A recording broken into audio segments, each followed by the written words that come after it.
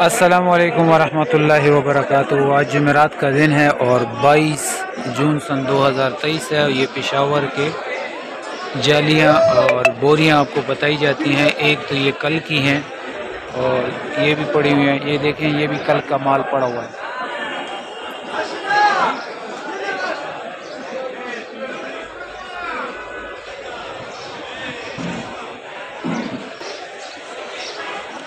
एक पाँच गाड़ियाँ खड़ी हैं, लोड हैं।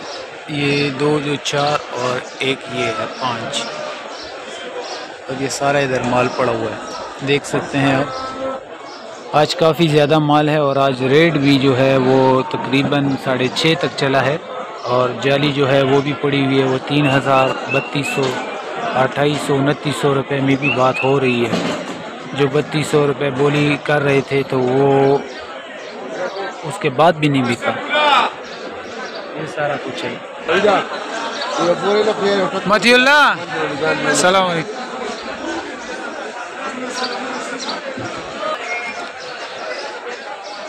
अस्सलाम वालेकुम वालेकुम अस्सलाम। शहजाद भाई क्या हाल है? ठीक है शुक्र है आप सुने अल्लाह का शुक्र है।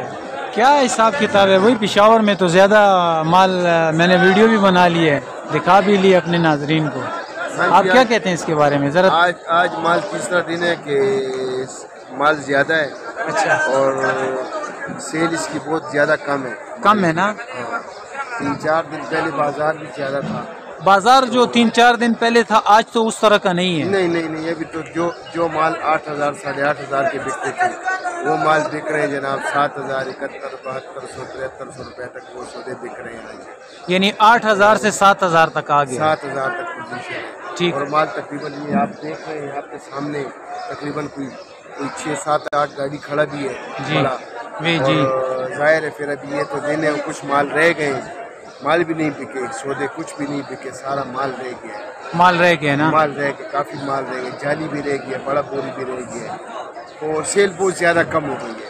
ये एक दो बातें हो सकती हैं। ये गर्मी की वजह से है या हाँ। गाहक का कम है? नहीं नहीं असल में गर्मी गर्मी बहुत ज़्यादा है। गर्मी ज़्यादा है तो उसकी वजह से जो है ना एक तो जो बेचने वाले ज़ाहिर है वो बेचेंगे सौदा तो हमारे पास आएँगे जब वो बेचेंगे नहीं तो हमारे पास नहीं आएँगे ठीक। तो इस वजह से लोगों के पास जो सौदा कम कम सौदा बेचते हैं वो टाइम से घर पे जाते हैं बहुत शदीद गर्मी है। जी जी। शावर में। इसीलिए तो आप इतने ऊपर बैठे हुए हैं ना। बस आराम से बैठे हुए हैं अभी।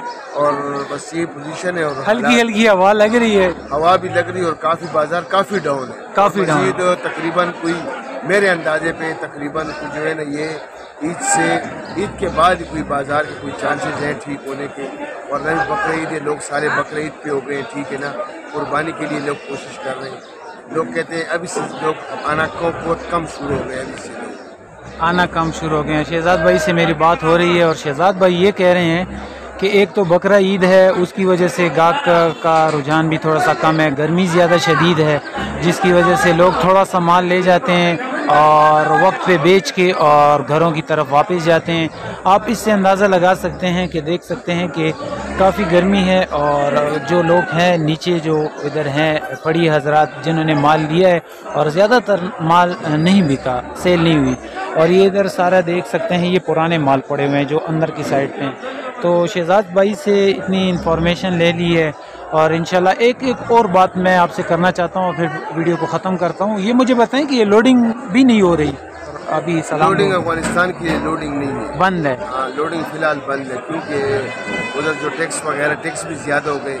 माल रहने की वजह भी यही है कि माल बाहर नहीं जा रहा है अफ़गानिस्तान। इसकी भी वजह है ना एक बहुत बड़ी वजह यही है। ठीक है जी बहुत बहुत शुक्रिया। अस्सलाम वालेकुम